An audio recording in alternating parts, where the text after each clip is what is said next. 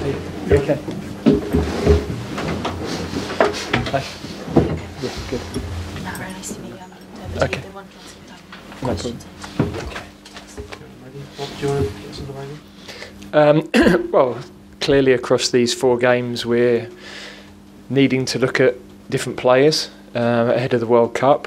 So today was part of that process. We knew on the back of a physically tough game in Germany the other night, also to refresh the team was was going to be important.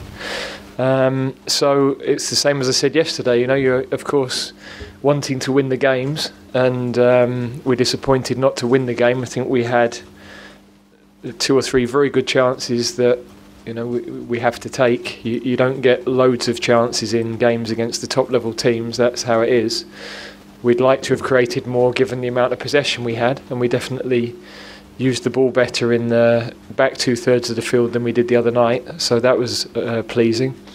Um, but in the end, we we've not got the goal uh, to make the difference, and uh, you know in, uh, we. Uh, very very reliant on Harry and, and Raheem for our goals at the moment, and uh, that's that is a, a concern.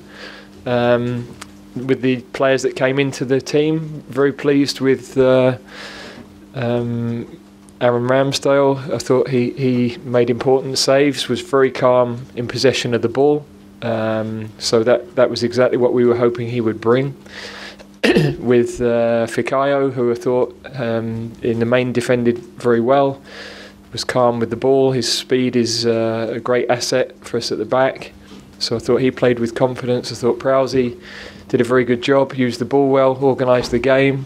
Um, his switches of play were good. So I thought it was a really positive night for him. Um, and Tammy, we were happy with. We took him off because we wanted to refresh the forwards at that stage of the game to to try to win the game. Um, he'll obviously be disappointed not to take the chance right at the start, but uh, I thought his his hold up play was good and he, he worked well for the team. Yeah. How do you see it? Is it, is it must win against Hungary? Well, to to win the group, we, we need to win on Tuesday. So, and um, I think having a full house here will be a huge lift for the players. You know, you're at a stage of the season where it's been incredibly difficult for them. Two very tough away games, and to come here and play in front of no fans when you're having those moments where you're pressing for the goal and you're, you're dominating the game, but there's nothing coming from the terraces, and then the opponent don't have the pressure of the fans behind them. So really tough schedule for them. Two tough away games and a home game that isn't an advantage, uh, other than the people who've looked after us brilliantly here. So we can't wait to come here on Tuesday when the place will be bouncing, and it just will add that extra percentage or two that at this point we, we, we could do with that help.